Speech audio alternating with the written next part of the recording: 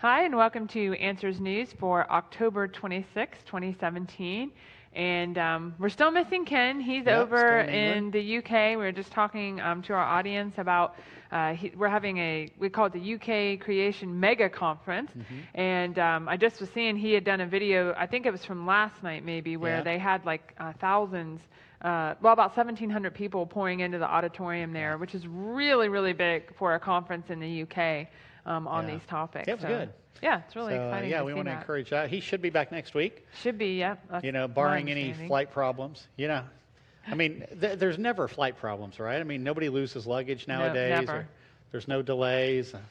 For those of you who fly a little bit, I see you out there smiling. We got a we got a studio audience out here today. Do you guys want to say hello? Clap your hands. Yeah, there they are. All right. All right. Well, welcome to the live show. Okay, well, we're going to start off. We always start off with a little bit of fluff and stuff so that people, once they get notified, can get on here. So, Bodie brought this over this morning and said, We got to do we this article. This. Man flies over South Africa using 100 balloons strapped to a camping chair. And he did it on purpose, actually. Was- when I first know. saw the article, I'm like, "Are you've got to be kidding me. This reminds me of the, what was that Disney show? Uh, Up. up, The, yeah, uh, the where, he. Mm-hmm. where, where they fly up. He flies his whole house up. But uh, yeah, he actually uh, planned to do this, and he wanted to make sure he did it where there was good weather, and so he ended up in South Africa. I guess he tried elsewhere, but Better ran into some problems. But I guess he said it was uh, quite exhilarating. Yeah, cold probably too, I'm sure. yeah, I he's think up he, that he- high. he went. I, I think it was almost eight thousand feet high. It was about Wow. about the height that he got to. It was Yeah. Mm-hmm. bursting balloons, and that would have made me a little nervous, especially in a camping chair. I, I wonder, did he did, did he put a seatbelt on? I don't know, but uh, holding yeah. on for dear life. We're not recommending anyone try this at right. home, okay? So, um, Yeah. probably not a wise thing. That's All right, well, it looks like lots of people are getting on here, so All right, we'll go well, ahead let's and get, get get into it then. Here, so our first um, article um, comes from the Christian, uh, the Gospel Herald Society. Christian magistrate fired for speaking out against gay adoption loses religious discrimination case. So, basically, this magistrate in the UK um, was fired from his position because he was opposed to same-sex couples adopting children. And it's not so much. My understanding is it's not so much that he was. Um, holding that view in his workplace in the sense of he was denying those adoptions, but rather Right. he he personally held um, that particular view and went on television about it. Right, and, he, and once he talked about it, you know, they just boy, they they said you're done. Um, so he actually ended up losing the case. Right. So uh, you know, uh, and, and you know what? We've seen more and more of this kind of stuff happening over there. You're not allowed to have the freedom of speech to speak out against Yeah. these sorts of things, or you're going to be attacked. Right. And so here's a Christian being attacked for that sort of thing. Yeah. We just, Yeah. it seems like almost every day, because, you know, we're obviously gathering these Mm-hmm. articles for this news broadcast. There's, there's some, somebody somewhere Mm-hmm. who's experiencing this kind of discrimination because, heaven forbid, um, they have a personal view uh, that this is wrong. And you know, Um, it's interesting. you know, it wasn't that just that he was trying to single out, you know, same-sex uh, adoption. You know, he was pointing out that, you know, I, ideally you want to have a mother and a father. He's like, that's a really good thing. You know, he he even struggled with uh, single uh, Adoptive parent parents. adoptions and things like that too. But boy, as soon as he said same-sex, they Yeah. they just attacked him. That's the key word, Yeah, so one to the- speak, the buzzword. One of the quotes in here uh, uh, that uh, w- was quite fascinating was if the tribunal is suggesting that there are places in which an individual does not enjoy the fundamental right of freedom of religious expression, this is a cause for concern and could have a chilling effect on freedom of belief and expression. Yeah. Now, the point is, welcome to that. That's what's happening. You see, from a Christian viewpoint, that's why people have the freedom of thought, freedom Right, of of speech, religion. freedom of religion, and that sort of thing. But as soon as you throw God out of it, why have that type of freedom? Right. Yeah. And that's what's happening. People are starting to impose Yeah. it.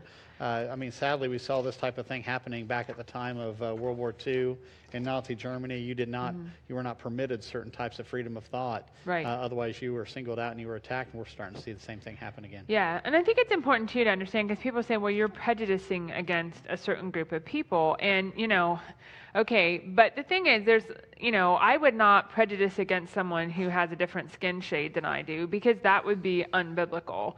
Um, there are certain things that, you know, when they are, when they're clearly against God's word, and, and homosexuality is, then we have to be in opposition to that in order to be in accordance with God's word. Um, other things we should not be. So we have to draw that line um, and, and understand that as well. So.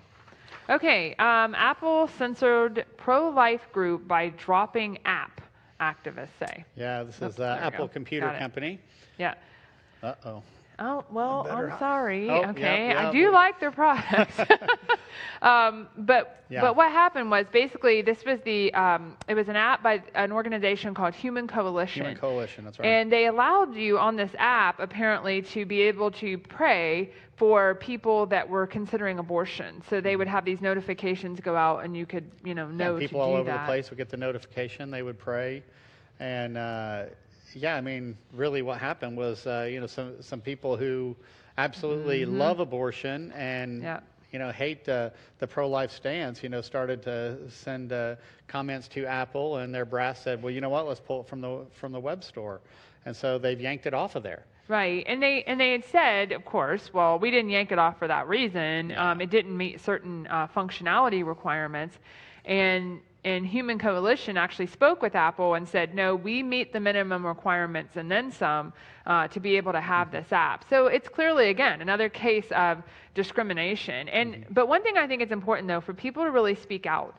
Um, because what happened, they, they talk about something that happened on Twitter actually, where they were going to ban a certain pro life ad uh, by a certain person that was campaigning, and uh, people got upset about it. And, and really, you know, it, there was a lot of backlash against it, and so then Twitter allowed the ad.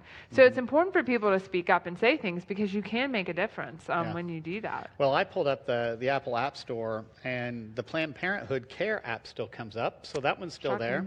Yeah. Wonder what would happen if a lot of Christians would start sending uh, messages to Apple saying, "Hey, get this off of here. This offends me." You know, uh, what would the brass do on something like that? I mean, Yeah. when it comes to abortion, this is child sacrifice. This is what's happening. Yep. And so much uh, in our culture, you know, they give it a different name, abortion, and all of a sudden people don't think as much about it. But that's what's happening in our culture, and it breaks my heart to see this. But that's what it is. It's child Yeah. sacrifice. Yeah. Okay. Okay. Um, oh, and just a reminder too, if you're watching on Facebook, to hit that, hit those emojis and get those going across Oh, those because going across. the more emojis that it gets, the more it goes out and has a farther reach. And we definitely want as many people as possible to. Um, to hear about it. Somebody said Yeah. on here, those who don't know history are doomed to repeat it. Yeah. And uh, yeah, That's, that's, a, that's very, a powerful statement. yeah, You when know, we're really dealing is. with a lot of these things, this has happened in the past, and now it's happening in the, in today Mm-hmm. with a lot of Christian groups. All right, from the American Spectator, it's official. The left has abandoned evolution. And yet they have pictures of penguins. Look at that. That's just that's just beautiful. That's a nice picture.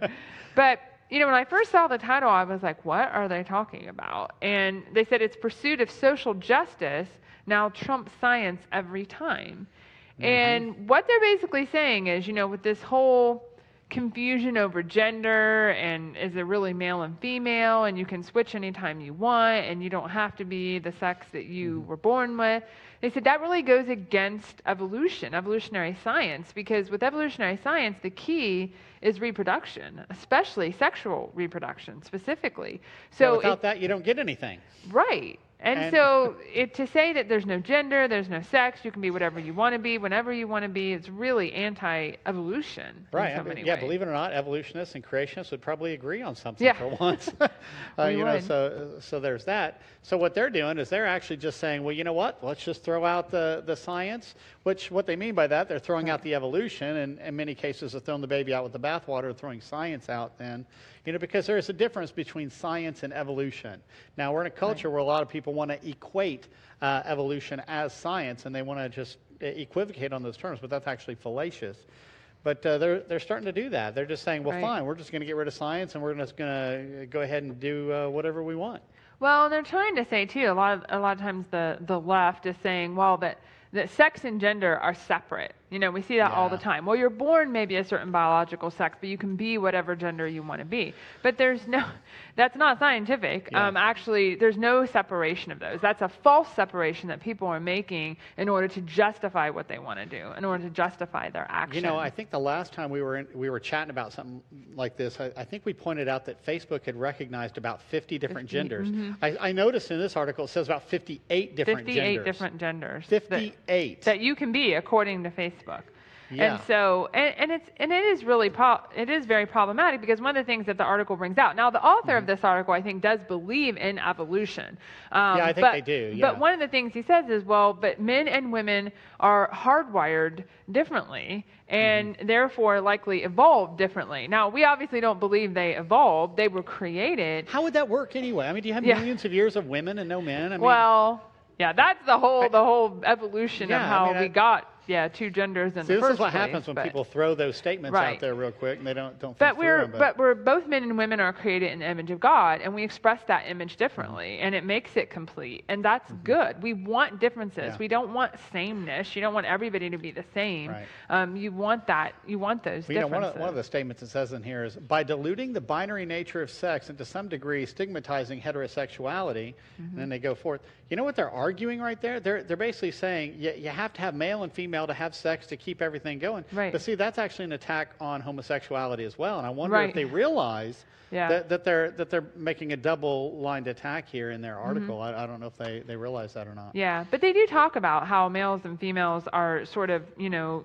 geared differently. Um, they said Mm-hmm. they talk about. There's been numerous articles that show this, but male brains are Yeah. more geared towards um, figuring things out, and female brains are more concerned with understanding people. Now, it's not to say that there can't be female scientists and engineers. I'm a female scientist, and some Mm-hmm. some women are, are more kind of geared towards that. But for the majority, it's it's, it's Yeah, I especially remember when I, was, in when I was back in engineering, you know, it was, it Yeah. Mm-hmm. was predominantly men. I mean, I knew some, some wonderful women that Right. Mm-hmm. made great engineers. I've worked with some over the years, but, um, you know, I would say the majority probably are men. But when you look at things like even teachers, especially at the elementary level, it's predominantly female. Well, you know, that, that was one of the things we used to talk about at the university.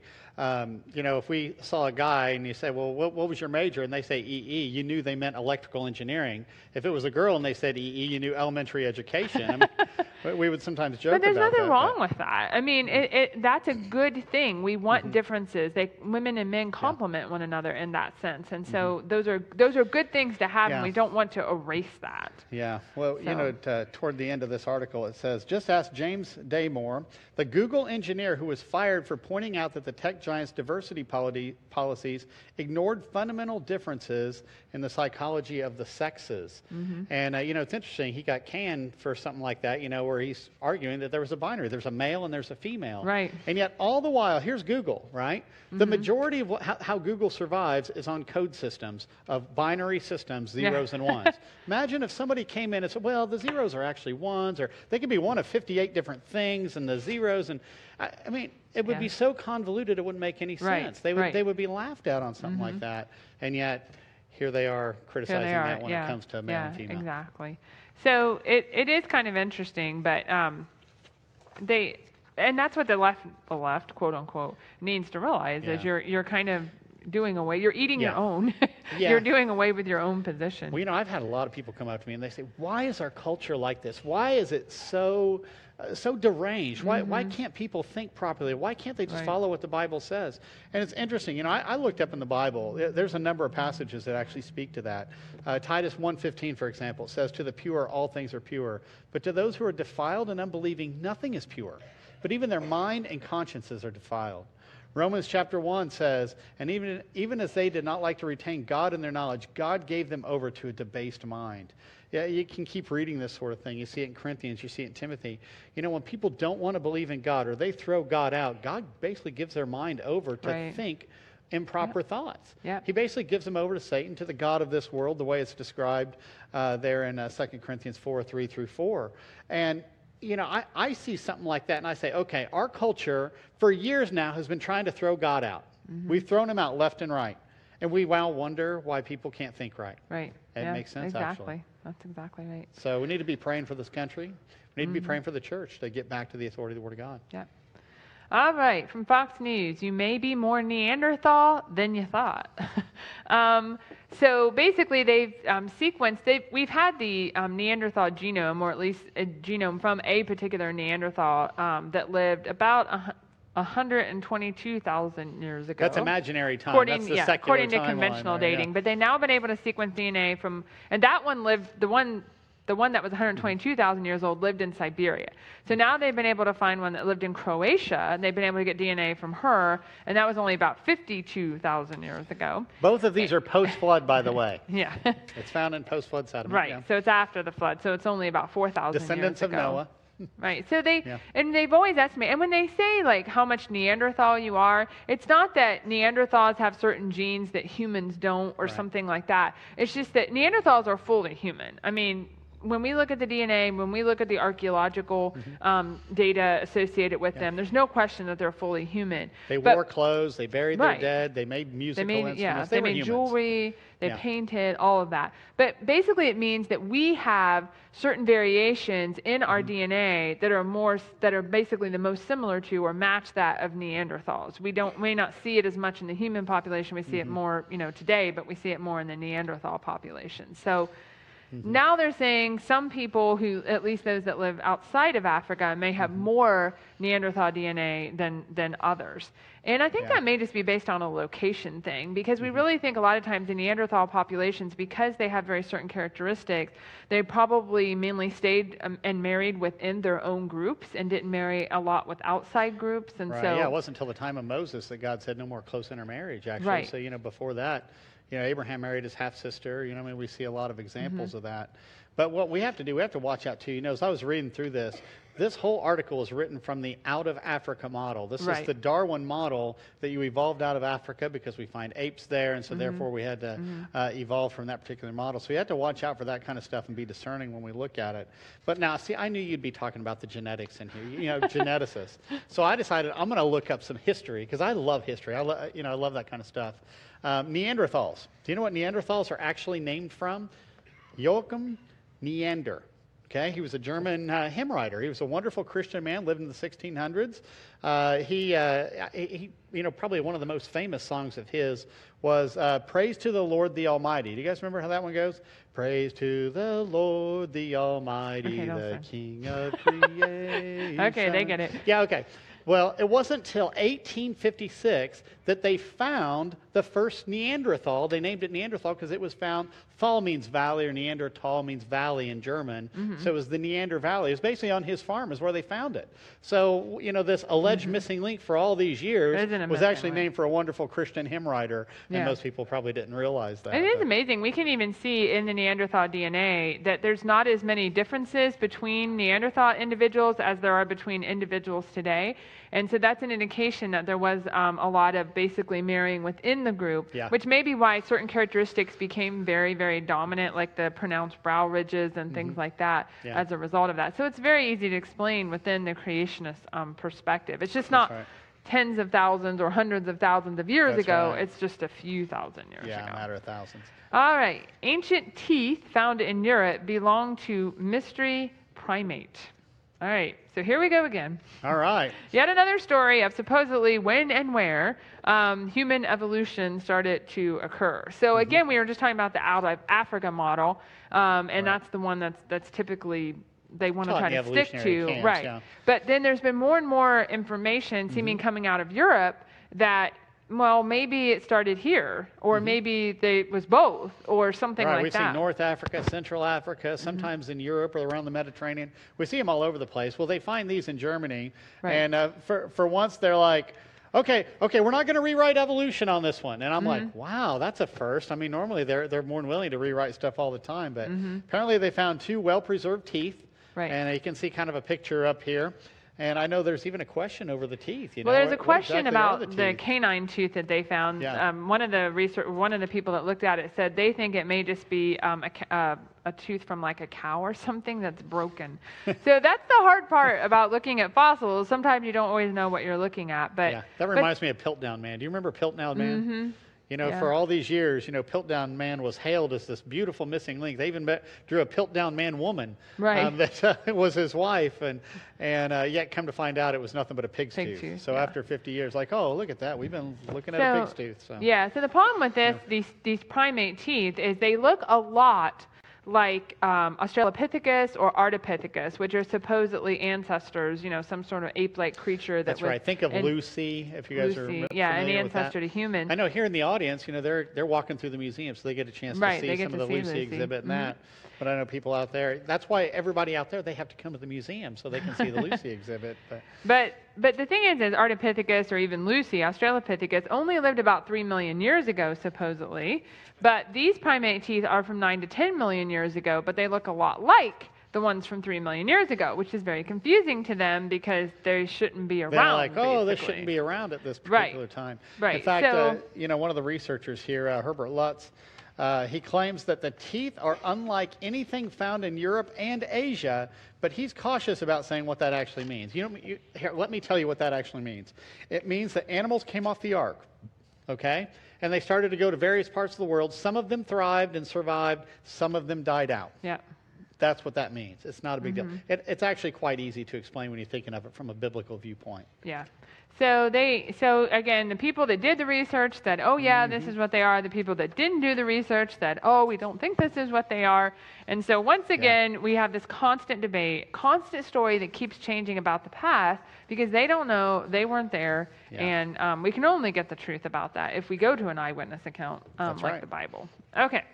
Um, the title of this one just cracked me up. All right. Exploding stars could have kickstarted our ancestors' evolution. I was like, what? Okay, so basically, here's the line. Okay, here's Okay. the story.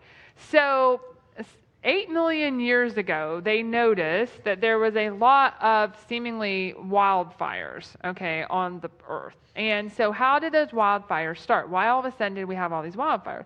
Well, they say there must have been a supernova that wasn't too far away that caused all these cosmic rays to come to Earth, which started more lightning, which caused more wildfires, which actually helped then our hominid ancestors to evolve. I Did have you guys- no idea what the link is Did you guys there, just fall for that? Uh, I, I, I hope you can Oh. discern through that. I mean, there were so Woo. many errors right there. It wasn't even funny just to think about. But I actually looked up, you know, because they're like, oh, yeah, we have to have more lightning strikes. I'm like, well, how many lightning strikes do we actually have? Do you realize we actually keep track of that every year? There is, uh, on average, 44 lightning strikes per second. Per second around the world. That translates to 1.4 billion lightning strikes per year. And yet we need more to come from a supernova to somehow, which they don't even know for sure if it'll actually cause the lightning here. Well, that's to try to. Uh, that was crazy. it was just total storytelling. I mean, and what's funny is. is one part of this says the article says it's it's one of these nice stories that all fits together with the caveat that there's some uncertainty in some of these linkages. Yeah. So it doesn't all fit together. They don't even Yeah. know if these cosmic rays could, like you said, cause more lightning, and they still don't link why the wildfires somehow led to our ancestors evolving. They never even explained that. It's just it's absolute There's a lot of storytelling. storytelling and Yeah, I wrote on my article, I said story. File next to Cinderella, Shrek. Oh yeah. There we go up, again. right? So I have, so yeah, but this is what you end up with. I mean, Yeah. right when you're not starting with the truth of Yeah. God's word. Okay, from the Daily Mail. Um, God will be replaced by AI, meaning artificial intelligence, collective consciousness, says Da Vinci Code author Dan Brown. Hey, I bet Dan Brown has a new new book coming out. You know what? He does. he does. So this is to promote his new book called Origin, um, that was inspired by the question, "Will God survive science?" Right. He tends to attack God in very subtle ways. And, uh, you know, this is, uh, th- this is no different, essentially. But, you know, AI, artificial intelligence, Mm-hmm. it's just mimicking what human intelligence really is. Right. And people have to program that. So, I mean, we, we always need to remember that. And uh, it- it's, it's not like AI will ever become God. It's not going to create from nothing, Mm-hmm. um, you know, or die and resurrect, you know, like the Lord and Savior Jesus Christ. Um, you know, it's not going to control the weather by the power of his voice.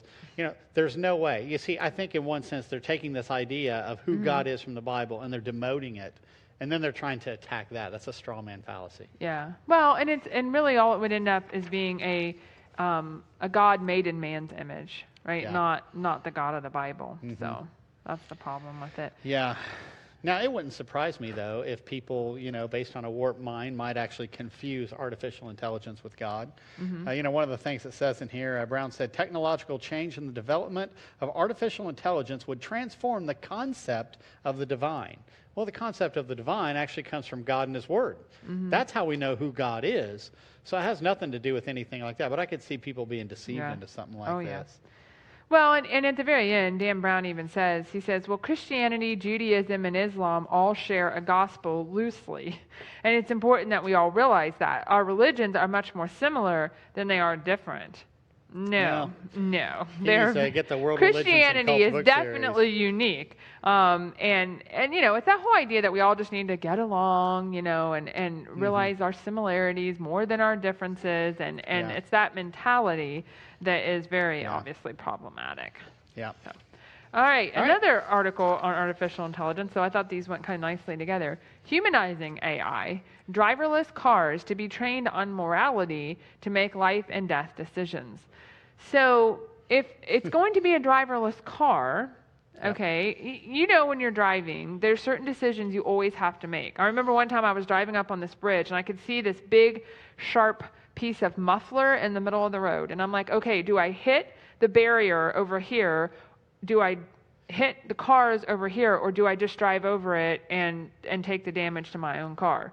I drove over it, got a flat tire out of it, which was probably the best choice of the of the 3 options that I had.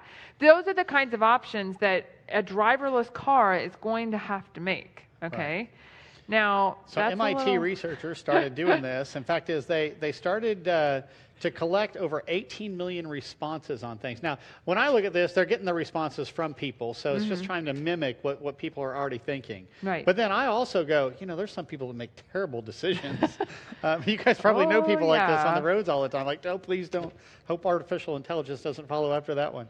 But uh, I mean, that's the way they're trying to do that, and they're trying to utilize those responses to get that programmed in, so right. that the they call it the moral program can- machine, can, um, which is again based on people's choices when they're given like those kind of Mm-hmm. no-win scenarios, you know, where you're going to have to hit someone Mm-hmm. um, in order to be able to supposedly. Um, Yeah, now, you know, and it, it, it makes me wonder. You know, they're they're trying to say, well, this is a good thing. You know, you know, should I make this decision to kill this one or this one? You know, in a tough situation.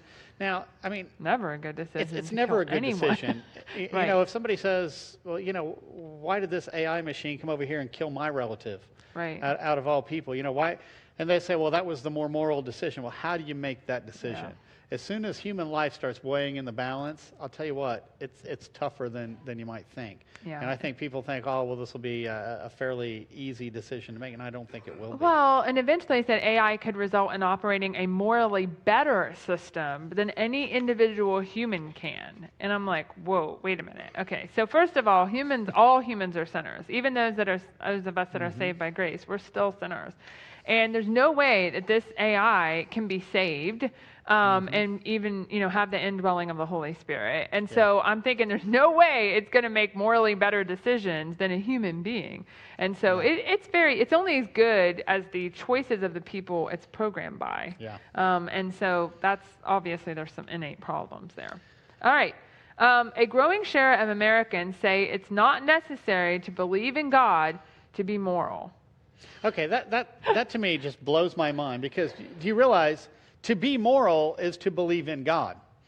So it's actually self refuting right off the bat. Right. Yeah. God commands us. God is the one in charge of morality. We're, we're commanded to, to believe in it. In fact, is the Bible says we all have that innate belief in God in Romans chapter 1, and people want to suppress that knowledge. suppress it, yep. So right there, it, that's, uh that's self refuting right off the start. Well, they want to. I mean, some people say, "Well, are you saying that atheists can't be moral people?" I never said that. There are atheists that can be very moral people. My my problem is they don't have a foundation. They a well, they're for it, having yeah. to borrow from the from the Bible to be moral. That's okay, right. to have a foundation for that morality. Because, like you just said, there is no morality. There is no. How do you decide what's good and bad? How do you decide Yeah. what's right and wrong if you don't have an ultimate standard? Yeah, I've had atheists come up and say, you know what, I, I believe that people should not murder. And I'm like, thank you for following the Ten Commandments. you see, they have to borrow that from Scripture. That's where that's coming from. But you see, if you actually throw the Bible out, you throw God out, Right. you can set your own morality to be whatever you want. And then you can define that as good or whatever because you're no longer following God said. That's actually what Hitler did. Do you realize Hitler was actually trying to, do good according to his own mind and according to his own beliefs. Mm-hmm. He thought the Aryans were superior so everybody else can be exterminated. And to him, that was a good thing. Yeah. You see, he redefined morality, he redefined good and bad. The problem is, as soon as you do that, boy, you've just destroyed morality in and of itself. Yeah. You've got to have the absolute standard, and God and His Word are that absolute standard. Mm-hmm. That's why this is such a big deal. Yeah, there, there's actually an atheist just comment on here. Mm-hmm. He says, "Wrong. I'm an atheist. I certainly know what's right from wrong." That's yeah, because God we wrote the we law just on said your that. heart. Yeah, you do, but because um, you're you're basing Mm-hmm. right and wrong off the standard of God's word. What is right and wrong? What does that even mean, right and wrong? Is You it know, I've talked to a lot of, uh, you know, atheists who've been like, but, but abortion's good and right. right? But see, that's murder right there. You Right. see, they're redefining it. Yeah. See, they're not the standard for it. They need to check this stuff and test it against God and His Word. Yeah, absolutely. That's where morality standard is. All right, we've been drawing iconic sail wearing. I'm gonna let you pronounce this. Dim- Di- Dimetrodon. There we go. Dimetrodon. Yep. Wrong for 100 years. So this is actually not a dinosaur, okay? This is a, um, what do they call it? A paleo, oh, paleocos, paleosaurs. You know what? I'm not even going to try on that. They're not dinosaurs. We know it's one of that the belly draggers. They're know, known by their sail, thought, yeah. Mm-hmm. sort of sail fin here. And um, they used to think that their legs were really like sprawled out, and they actually dragged um, their belly. Right. Think of Um, a Komodo dragon or a Right. crocodile, something like that, where the belly normally drags. But they've done more research and find they don't think that's really Right. Well, what they did is they, they found trackways, you know, where these things have been walking, and Mm-hmm. it, it, it didn't model, you know, having your legs sprawled out. It was more like they were under them and walking. And so, you know, they found more than one of these, and so they thought, hey, you know what? Maybe we're not looking at the, the, the bone structure quite right. Mm-hmm. And so they went back and looked at that, and they thought, hey, you know what? Maybe these are sitting more under underslung, essentially, which is probably a little bit closer to the dinosaur style, Yeah. Mm-hmm. even though it doesn't have the same, you know, uh, hip structure there. It just goes to show you it's really hard to establish these things Yeah. Mm-hmm. based on fossils and tracks and as you find more things and, and so it's it's very challenging. All right, I'm going to skip to the last one. Okay, let's do the last one. Yeah. Because we're running out of time. We're going to skip to this one. Why haven't we had alien contact? Blame icy ocean worlds. All right. So the reason that um, we we haven't heard from all these aliens that are out there is because all these other worlds are like super icy and they're all living under the surface. Now you know. Yeah. When I first read that, you know what ran through my head? You know, there's another reason that aliens may not be trying to contact us. Maybe they're not Not there. there. oh, I, I, I see this stuff and I read it and I'm like, really? Well, but, but people take this seriously. But this is, again, it has evolutionary underpinnings. It's right. called the Fermi paradox. And basically, it's a contradiction between the paradox is that there's a contradiction between the fact that we don't have any evidence for aliens, but there's a high probability that aliens exist, at least mm-hmm. according to an evolutionary view. Because if life evolved here, life certainly evolved in lots of other places. And so we should have heard from these people by now, but we haven't because, as it turns out, they, bas- they may have no concept of space because they're living inside their worlds. Yeah. Right. So now we know. Okay, a couple things I do want to recommend. We talked about Neanderthals uh, in recent times here quite a bit uh, today as well. Uh, Dr. Terry Mortenson is the editor of a book called Searching for Adam. We are in a culture where, sadly, even within the church, many people are rejecting that Adam and Eve were real people. And so, that, naturally, that's where this book came from. One of the chapters in here is an excellent chapter on the subject of Neanderthal or Neanderthals, depending on who you're talking to. Um, but I, I do want to recommend this. It's uh, simply called Searching for Adam. Uh, also, I wanted to recommend Dr. Jason Lisle has a book. He's an astrophysicist called Taking Back Astronomy, and there's a significant section in here on uh, ET, ET and alien uh, Oh, uh, life. But it's a beautiful full-color book on astronomy, and uh, it is it's powerful. You know, I just I love looking at this book, and I've used it for reference a number of times. Mm-hmm. But I do want to encourage people to take a look at that. Uh, Taking Back Astronomy is its name. Okay, well, we'll be back on Monday. I think Ken will be back here. That's to- right. We'll get the Australian accent back. Yeah. Everyone Good likes on to listen to that. So, so anyways, thank you. Why don't you give one more round of applause so everybody can hear you? There we All go. right. All right. Send those Emojis. emojis. Lots of emojis. All right. And we appreciate you being here with us today, and we'll right. see you back on Monday. All right. God bless you guys.